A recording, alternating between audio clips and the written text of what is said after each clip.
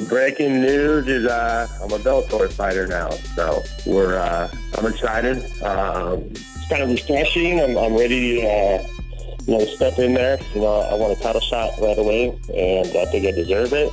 And uh, I'm, I'm just super excited.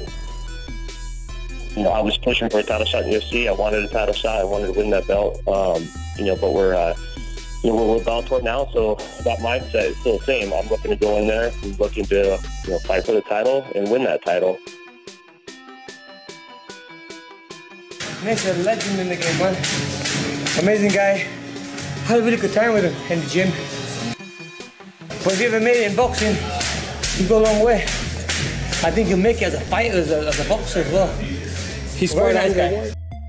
People love him. I mean, the only guy to beat McGregor. People love him for that.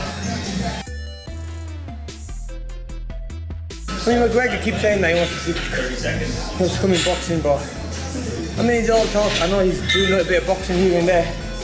But boxing and MMA are two different sports. No disrespect. I think that he's not made as a boxer. But, I mean, he might do well. He's got that punch power that everyone says. Floyd is one of the best fighters in the decade that we've had in boxing and McGregor wants to fight the best out there.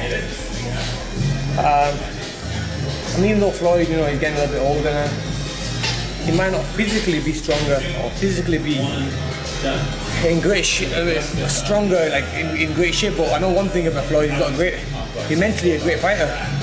He can break anyone down, take away that power, pick them off, and I think if he ever fought McGregor, even though I like McGregor, I'm a big fan of his. Uh, I think that McGregor just falls short in the boxing. I mean.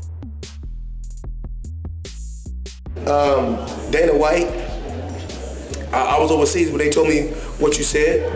I want to say, you know, good work, Dana White. Conor McGregor, they said you finally opened your mouth and you back to talking shit. You know, I say that's cool too. You know, but you know, uh, with me, I mean, it is what it is. You know, I go, if I can't do nothing, everybody know I can fight. If I can't do nothing else. But, you know, when I'm not in the ring, I'm a gentleman. Outside the ring, I'm a gentleman.